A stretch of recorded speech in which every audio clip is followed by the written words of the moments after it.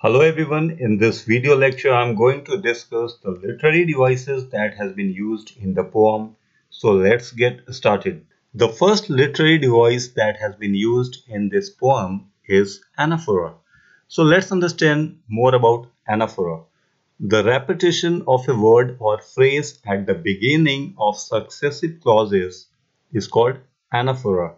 It is often used in a poem. So uh, we see in stanza number one, uh, line number second, third and fourth. There is a common word don't. The line second, third and fourth is getting started with a common word that is don't. Let's see. Wind comes softly, don't break the shutters of the windows, don't scatter the papers, don't throw down the books on the shelf. So uh, according to the definition also, the definition is saying the repetition of a word, okay, at the beginning of successive clauses okay? So these are like successive clauses. Line number second third and fourth. And the first word that is beginning is don't okay? So in this way don't is anaphora over here. So now let's look at the second literary device. The second literary device is repetition. It is a literary device which could be a word a phrase or a full sentence or a poetical line repeated to emphasize its significance in the entire text. Uh, now look at stanza 3. We see frail crumbling houses, crumbling doors, crumbling rafters, crumbling wood, crumbling bodies, crumbling lives, crumbling hearts. We see the word crumbling has been repeatedly used. So according to the uh, definition, uh, it is a literary device which could be a word, okay, uh, or a poetical line repeated to emphasize its significance, okay. The word crumbling is repeated uh, in the whole of the sentence uh, or the line so as to emphasize or uh, make its uh, significance. So the word crumbling here is example of repetition. The device, the literary device, repetition. Now let's check which is the third literary device that has been used in the poem. The third literary device is alliteration. So let's understand what is alliteration. It is a literary device.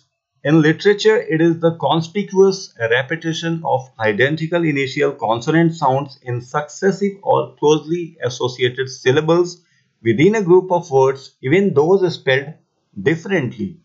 Alliteration is also called head rhyme or initial rhyme. So let's understand with the help of uh, its use uh, in the fourth stanza. The wind god winnows and crushes them all. Here we see uh, in the wo second word wind and the fourth word winnows. Actually, they are quite close to each other. Okay. And also we see the consonant sound V. Okay. Is very much prominent and used over here. So here the word number second and in word number fourth we see the use of alliteration. Now let's see the fourth literary device that has been used in the poem.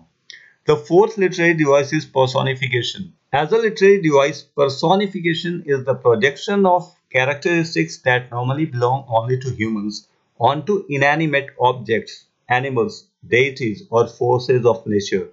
We see in the stanza number 2, the word you has been used in every line and every sentence. Okay.